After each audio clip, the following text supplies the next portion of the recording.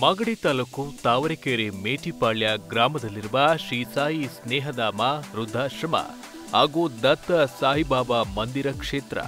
ಈ ಕ್ಷೇತ್ರದಲ್ಲಿ ಹತ್ತೊಂಬತ್ತನೇ ವರ್ಷದ ಬಾಬಾ ದಿನಾಚರಣೆ ಕಾರ್ಯಕ್ರಮವನ್ನ ಶ್ರೀ ಸಾಯಿರಾಮ್ ಪ್ರಸಾದ್ ಗುರೂಜಿರವರ ಮಾರ್ಗದರ್ಶನದಲ್ಲಿ ಸಾವಿರಾರು ಭಕ್ತಾದಿಗಳು, ಮಕ್ಕಳು, ಮುಖ್ಯ ಅತಿಥಿ ಗಣ್ಯರ ಉಪಸ್ಥಿತಿಯಲ್ಲಿ ಅದ್ದೂರಿಯಾಗಿ ಆಚರಣೆ ಮಾಡಲಾಯಿತು. ಈಗ ಒಂದು ನಂಬಿಕೆ ಬಾಬಾ ಸಮಾಧಿಯಾಗಿ ನೂರ ಒಂದು ವರ್ಷಗಳ ಕಾಲ ಆಗಿದೆ. ಎರಡು ಸಾವಿರದಲ್ಲಿ ಬಾಬಾ ಬಂದಿದ್ದಾರೆ ಅಂದರೆ ಇದೊಂದು ನಂಬಿಕೆ. ಇದನ್ನ ಹೇಳೋಕ್ಕೆ ಮುಂಚೆ ನಾನೊಂದು ಸಣ್ಣ ಒಂದು ಉದಾಹರಣೆ ನಿಮಗೆ ಹೇಳಬೇಕು. ಸ್ವರ್ಗದಲ್ಲಿ ಮಹೇಂದ್ರನ ಒಂದು ಸಂಸ್ಥಾನದಲ್ಲಿ ಒಂದು ಚರ್ಚೆ ನಡೀತಾ ಇದೆ. ಆ ಚರ್ಚೆಯಲ್ಲಿ ಏನಾಗತ್ತೆ ಅಂದರೆ ಅವರಲ್ಲಿ ಒಂದು ಚಿಂತಾಮಣಿ ಇರುತ್ತೆ. ಆ ಚಿಂತಾಮಣಿಗೆ ಎಷ್ಟು ಶಕ್ತಿ ಇದೆ ಅಂದರೆ ನಾವು ಏನು ಸಂಕಲ್ಪ ಮಾಡ್ಕೊಳ್ಳಿ ಏನು ಬೈಕ್ಗಳಿರಲಿ ಅದರ ತಕ್ಷಣ ಅಂತ. ಅದನ್ನು ಭದ್ರಪಡಿಸ್ಬೇಕು ಅಂತ ಮಹೇಂದ್ರ, ದೇವೇಂದ್ರ ಒಂದು ಸಭೆಯನ್ನು ಕರೆದಿರ್ತಾರೆ. ಆ ಸಭೆಯಲ್ಲಿ ಇದನ್ನೆಲ್ಲ ಭದ್ರಪಡಿಸ್ಬೋದು? ಒಬ್ಬರು ಹೇಳ್ತಾರೆ, ಸಮುದ್ರದ ಆಳದಲ್ಲಿ ಬಚ್ಚಿಡ್ಬೋದು. ಇನ್ನೊಬ್ರು ಹೇಳ್ತಾರೆ, ಇಲ್ಲ, ಪರ್ವತದ ಶಿಖರದ ಮೇಲೆ ಬಚ್ಚಿಡ್ಬೋದು. ಇನ್ನೊಬ್ರು ಹೇಳ್ತಾರೆ, ಇಲ್ಲ ಇಲ್ಲ, ದಟ್ಟ ಅರಣ್ಯದಲ್ಲಿ ಒಂದು ಗುಹೆಯಲ್ಲಿ ಹೇಳ್ಬೋದು ಆದರೆ ಒಬ್ಬರು ಹೇಳ್ತಾರೆ, ನೋಡಿ, ಇದೆಲ್ಲ ಬೇಡ. ನಾವು ಇದನ್ನ ಮನುಷ್ಯನ ಮನಸ್ಸಿನ ಅಂತರಾವಲದಲ್ಲಿ ಬಚ್ಚಿಡ್ಬೇಕು ಯಾಕಂದ್ರೆ ಅದಕ್ಕೆ ಅಮೋಘವಾದಂಥ ಶಕ್ತಿ ಇದೆ ಅಂತ ಅವನು ಗೊತ್ತಾದ್ರೂ ಅವನು ನಂಬೋದಿಲ್ಲ. ಯಾರು? ಮನುಷ್ಯ ನಂಬೋದಿಲ್ಲ. ಅದಕ್ಕೆ ಅಷ್ಟೊಂದು ಶಕ್ತಿ ಇದೆ ಅನ್ನೋನು ನಂಬೋದಿಲ್ಲ. ಅವನೇನಿದ್ರು ಹೊರ ಪ್ರಪಂಚದಲ್ಲಿ ಹುಡುಕ್ತಾ ಹೋಗಿ ಹೋಗ್ತಾನೆ ಹೊರತು. ಅವನ್ನ ಮಾಡಬಹುದು ಅನ್ನೋದಕ್ಕೆ ಅವನ ನಂಬಿಕೆ ಬರಲ್ಲ. ಅದರಿಂದ ಅಲ್ಲಿ ಮನುಷ್ಯನ ಅನ್, ಮನಸ್ಸಿನ ಅಂತರಾಳದಲ್ಲಿ ಇರೋಣ ಎಲ್ಲರೂ ಇದನ್ನು ಹೋಗ್ತಾರೆ ಎಲ್ಲರೂ ಒಪ್ಕೊಂಡು ಬರ್ತಾರೆ ಅವರು ಅಂದ್ಬಿಟ್ಟಿದೆ ಇವಾಗ ನೋಡಿ, ನಂಬಿಕೆ ತುಂಬ ಮುಖ್ಯ. ಈಗ ಆಂಜನೇಯ ಸ್ವಾಮಿ ಏನು ಮಾಡ್ತಾರೆ? ರಾಮಚಂದ್ರನ ಹತ್ರ ಹೋಗ್ತಾರೆ. ರಾಮಚಂದ್ರ, ನಾನು ನಿಮ್ಗೊಂದು ಹೇಳ್ಬೇಕು. ಏನು ಹೇಳಪ್ಪ? ನಾನು ನಿಮ್ಮ ಮೇಲೆ ಎಷ್ಟು ನಂಬಿಕೆ ಇಟ್ಟಿದ್ದೀನಿ ಗೊತ್ತಾ? ಎಷ್ಟು ನಂಬಿಕೆ ಇಟ್ಟಿದೀಯ ನೀವು ನಿಮ್ಮನ್ನು ನಂಬಿದ್ದೀರಲ್ಲ, ಅದಕ್ಕಿಂತ ಹೆಚ್ಚಿನ ನಂಬಿಕೆನ ಇಟ್ಟಿದ್ದೀನಿ ನೋಡಿ, ರಾಮ ರಾಮ ರಾಮ ಅಂತ ಹೇಳ್ಕೊಂಡು ನಾನು ಲಂಕೆಯೆಲ್ಲ ಸುತ್ಕೊಂಡು ಬಂದು ನನ್ನ ಕೆಲಸ ಎಲ್ಲ ಮುಗಿಸ್ಕೊಂಡು ಬಂದೆ. ಹೌದು. ಆದರೆ ನೀವು ನೋಡಿ, ನೀವು ಲಂಕೆಗೆ ಹೋಗೋದಕ್ಕೆ ಸೇತುವೆ ಕಟ್ತಾ ಇದ್ದಾರೆ. ಹೌದಲ್ವಾ? ಇನ್ನೊಂದು, ನಾನು ಪ್ರತಿಯೊಂದು ಕಲ್ಲಿನ ಮೇಲೆ ರಾಮ ರಾಮ ಅಂತ ಬರೆದು ಸಮುದ್ರ ಬಿಸಾಕ್ತಾ ಇದ್ದೆ ಅವೆಲ್ಲ ತೇಲ್ತಾ ಇದೆ. ನೀವು ಹಾಕಿ ತೇಲತ್ತೇನೋ ನಿಜವಾಗ್ಲೂ ರಾಮಚಂದ್ರ ಹೇಳ್ತಾನೆ, ಅದೇ ನಂಬಿಕೆ. ಭಗವಂತನಿಗಿಂತ ಭಗವಂತನ ನಾಮಕ್ಕೆ ಬಹಳ ಶಕ್ತಿ ಇದೆ. ಶ್ರೀ ಸಾಯಿಬಾಬಾ ಪವಾಡ ಪುರುಷ, ದೈವ ಸ್ವರೂಪಿ, ಭಕ್ತಾದಿಗಳು ಬಾಬನನ್ನ ಕಾಣುವ ರೀತಿಯಲ್ಲಿ ಅವರಿಗೆ ದರ್ಶನ ನೀಡಿ ಕಲಿಯುಗದಲ್ಲೇ ಮಾನವನ ಇಷ್ಟಾರ್ಥಗಳನ್ನ ಸಿದ್ಧಿಸಿ ಪ್ರತಿಯೊಬ್ಬರ ಆಸೆ ಕನಸುಗಳನ್ನ ಈಡೇರಿಸುವ ದುಃಖ ದುಮ್ಮಾನಗಳನ್ನ ಬಗೆಹರಿಸುವ ಶ್ರೀ ಸಾಯಿಬಾಬಾ ಸಾಕ್ಷಾತ್ ದರ್ಶನ ನೀಡಿದ ಸ್ಥಳ ಈ ಕ್ಷೇತ್ರ. ಶ್ರೀ ಕ್ಷೇತ್ರಕ್ಕೆ ಹತ್ತೊಂಬತ್ತು ವರ್ಷಗಳ ಹಿಂದೆ ಬಾಬಾ ಆಗಮಿಸಿ ಭಕ್ತಾದಿಗಳ ಯೋಗಕ್ಷೇಮ ವಿಚಾರಿಸಿ ಪ್ರಸಾದ ಸ್ವೀಕರಿಸಿ ತೆರಳಿರುವ ಪವಾಡವು ಶ್ರೀ ಕ್ಷೇತ್ರದಲ್ಲಿ ನಡೆದಿದೆ. ಹತ್ತೊಂಬತ್ತು ವರ್ಷಗಳ ಹಿಂದೆ ನಡೆದ ಆ ಘಟನೆಯ ಬಗ್ಗೆ ಶ್ರೀ ಸಾಯಿರಾಮ್ ಪ್ರಸಾದ್ ಗುರೂಜಿರವರು ಸಂಪೂರ್ಣ ವಿವರಣೆಯನ್ನ ನೀಡಿದ್ದಾರೆ. ಓಂ ಸಾಯಿರಾಮ್. ಇದು ಸಾಯಿ ಸ್ನೇಹಧಾಮ ವೃದ್ಧಾಶ್ರಮ ಹಾಗೂ ಶತಶೃಂಗ ಕಿವುಡು ಮಕ್ಕಳ ವಸತಿ ಶಾಲೆ ಹಾಗೂ ದತ್ತ ಸಾಯಿ ಬಾಬಾ ಮಂದಿರ ಇದೆ. ಇಲ್ಲಿ ನಮ್ಮ ಸಂಸ್ಥೆ ಸಾವಿರದ ಒಂಬೈನೂರ ಎಂಬತ್ತೆಂಟರಲ್ಲಿ ಪ್ರಾರಂಭ ಆಗಿತ್ತು.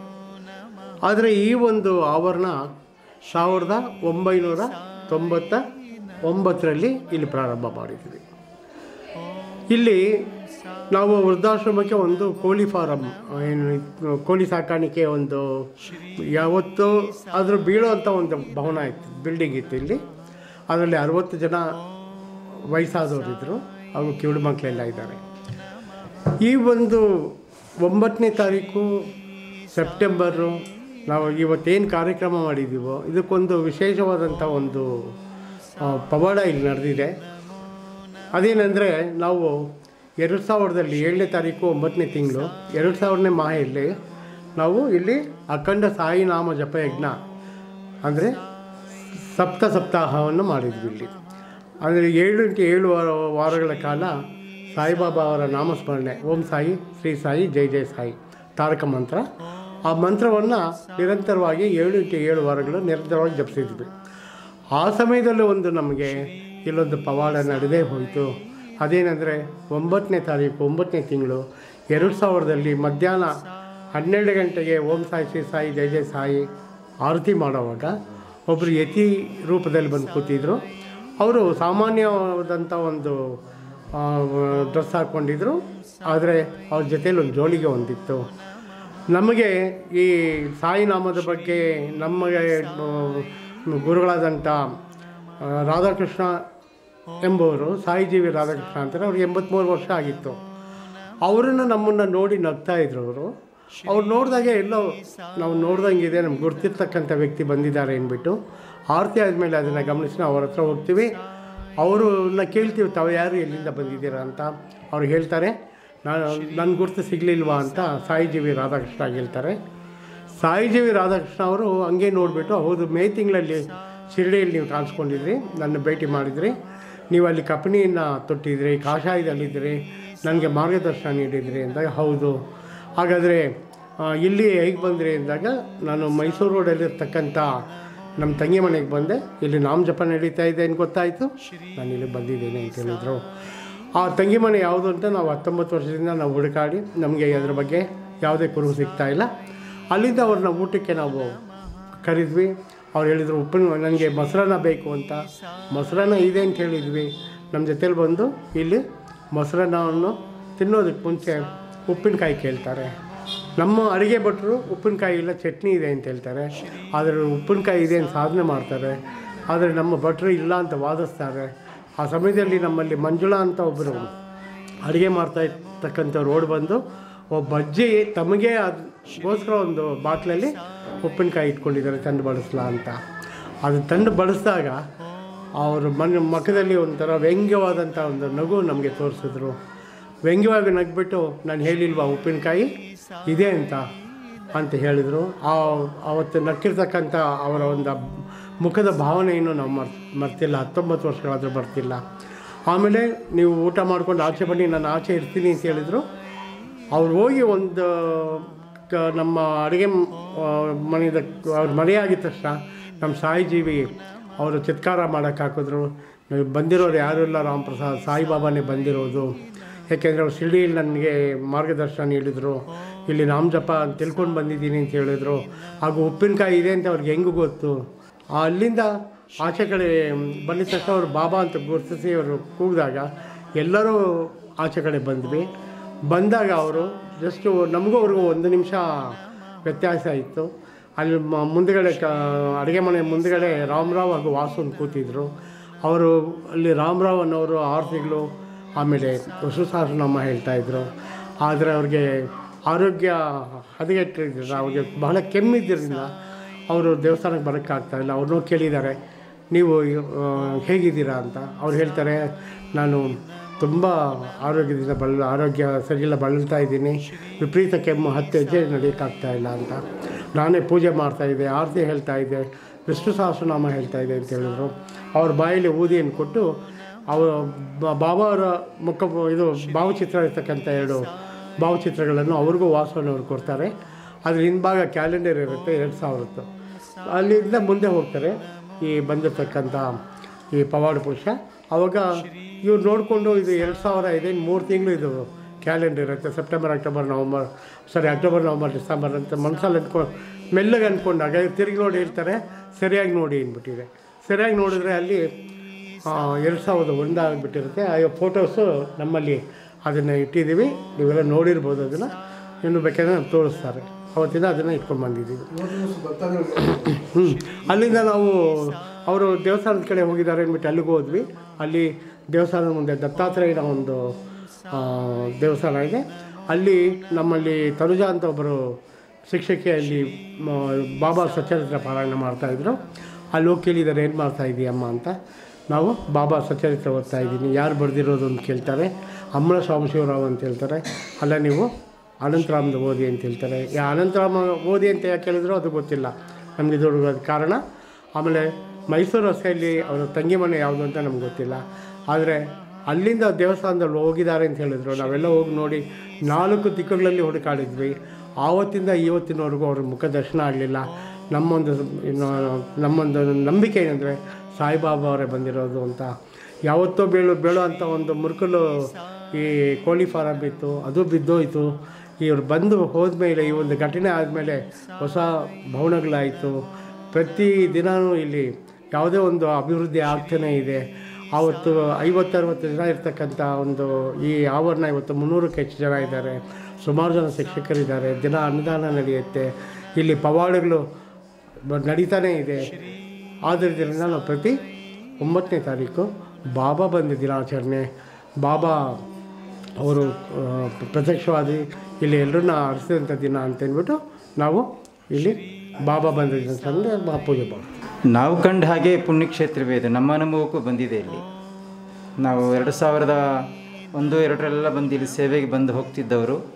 ಏನು ನಮ್ಮ ಗುರೂಜಿಯವರು ಹೇಳ್ತಿದ್ದಾರೆ, ಅದು ಅಕ್ಷರ ಸತ್ಯ ಇದೆ. ಪವಾಡ ಪುರುಷರು, ಸಾಧು ಸಂತರುಗಳು, ಅವ್ರಿಗೆಲ್ಲ ಒಂದು ಎಲ್ಲೇ ಒಂದು ಗಡಿ ಯಾವುದಿದೆ ಹೇಳಿ. ಎಲ್ಲಿಯ ಮಹಾರಾಷ್ಟ್ರ, ಎಲ್ಲಿಯ ಶಿರಡಿ, ಎಲ್ಲಿಯ ತಾವರೆಕೆರೆ ಹತ್ತಿರ ಇರೋ ಈ ಮೇಟಿಪಾಳ್ಯ. ಬಾಬಾ ನೆನೆಸ್ಕೊಂಡ್ರೆ ಎಂಥದನ್ನು ಮಾಡ್ತಕ್ಕಂಥ ಚೈತನ್ಯ ಉಳ್ಳವರು. ಅದಕ್ಕೆ ಅಲ್ವಾ ಅವರು ನಾವೆಲ್ಲರನ್ನು ಪೂಜೆ ಮಾಡೋದು, ನಂಬೋದು? ಹಾಗಾಗಿ ಈ ಕ್ಷೇತ್ರಕ್ಕೆ ಹೆಜ್ಜೆ ಇಟ್ಟೇನೆ ಕೆಲವು ಅನಿಷ್ಟಗಳು ದೂರ ಆಗ್ತದೆ ಅಂತ ನನ್ನ ನಂಬಿಕೆ ಕೂಡ ಇದೆ. ನಾನಂತೂ ಬಂದಿಲ್ಲವೇ?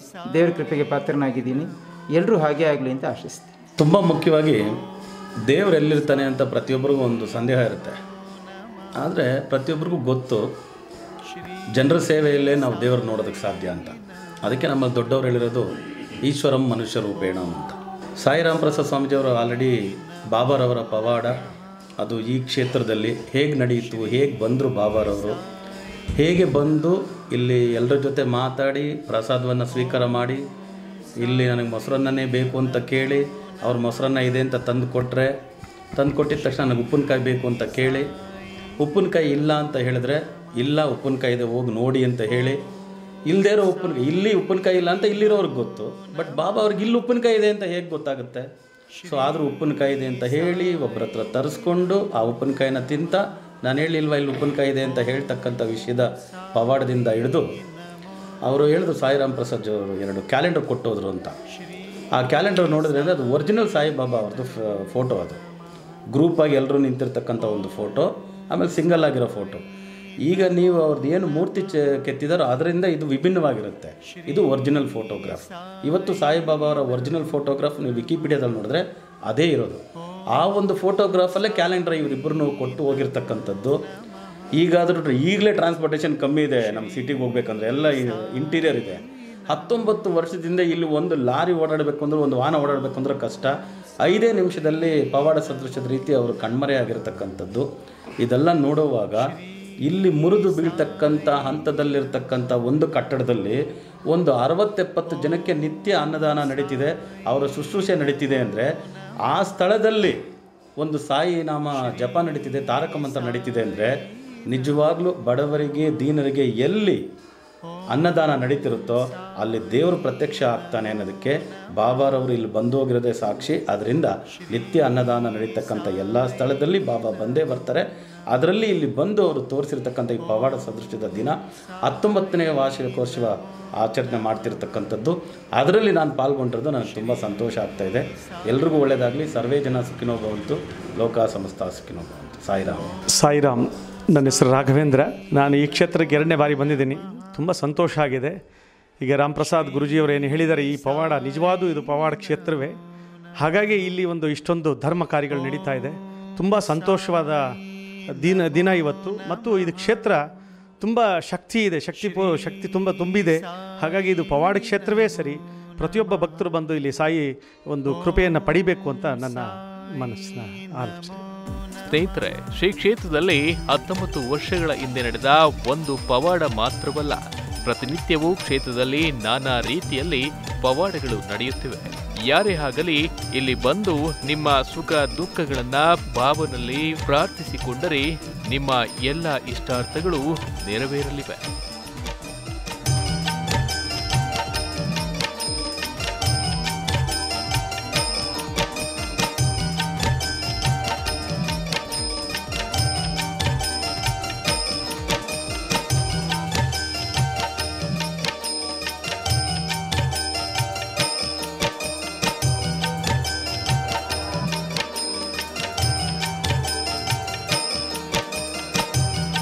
ಕ್ಯಾಮ್ರಾಮನ್ ರಾಮು ಜೊತೆ ಚನ್ನಕೇಶವ್ ಟಿವಿ ಟ್ವೆಲ್ ಕನ್ನಡ ಬೆಂಗಳೂರು.